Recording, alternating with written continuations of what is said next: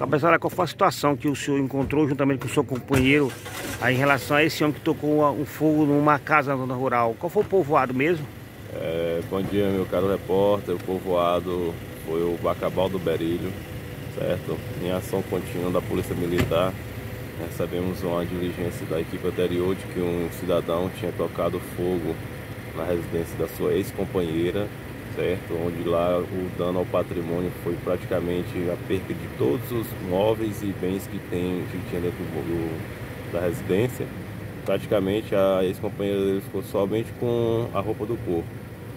É, nessa ação contínua a gente começou as diligências por volta de nove e meia da manhã, no intuito de fazer a captura desse elemento não logramos êxito na parte da manhã, mas na parte da tarde, na continuação das diligências, nós logramos êxito é, na prisão dele, no povoado Bacabal do Berilho. Estava lá tomando uma pinga né, no interior, próximo a uma sinuca lá, onde a gente encontrou ele lá armado com a faca, com a arma branca.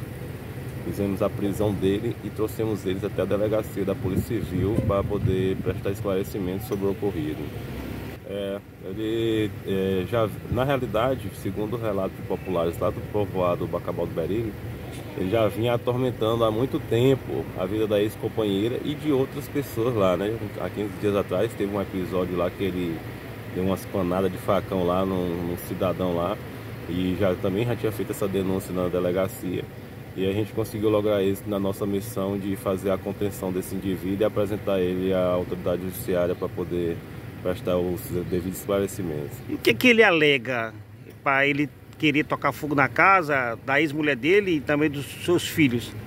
Ele apenas é, relatou à equipe policial é, de que de maneira é, vazia que não aceitava o fim do término é, do relacionamento e possivelmente a ex-companheira dele já estaria se relacionando com outro irmão dele, que é o que ensejou esse momento de fúria e fez com que ele tocasse fogo é, na residência. Né? Para salientar que a residência não tinha ninguém no momento do ocorrido, a família tinha vindo aqui para Codó participar de ato político e ele aproveitou a deixa, né, que a casa estava sem ninguém, tocou fogo no, nos imóveis lá, tocou fogo na residência por completo.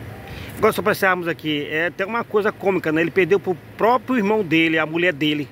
É, é o que ele relata, né? Mas é, o que a gente acredita na realidade é que ele só não aceitou realmente o término é, com a sua ex-companheira e que resolveu prejudicar ela dessa forma, mas acabou sendo é,